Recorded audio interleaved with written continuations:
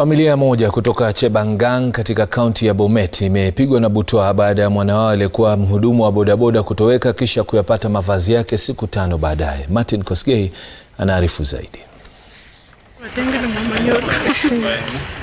Ni juhudi za wapigamizi hawa kutoka kaunti ya Bomet wakimtafuta Robert Tanui anadaiwa kupotea kwa siku ya kumi sasa. Cha kushangaza zaidi, nguo alizokuwa amevalia zikipatikana katika msitu wa Bondet katika mpaka wa Bomet na Kericho, huku msamaria mwema akidai kuwa alipata pesa karibu na mavazi hayo. nilipo hesabu nikapata ni elfu ishirini na saba nikakuja tena mahali nilitoa hiyo pesa. Huenda Robert alikuwa ameuza bodaboda yake kwa vile stakabadhi ya mauzo ilipatikana katika nguo zake pamoja na pesa zikiwa na upungufu kwa shilingi elfu mbili tu. na karatasi yenye alikuwa anauza nayo boda yenye ilikuwa imeandikwa 60,000 na alikuwa amepewa deposit 30,000. Jamaa zake sasa wamebaki na wasiwasi, wasijui iwapo Robert yuko hai au la. Martin Kosgei, runinga Citizen kutoka kaunti ya Bomet.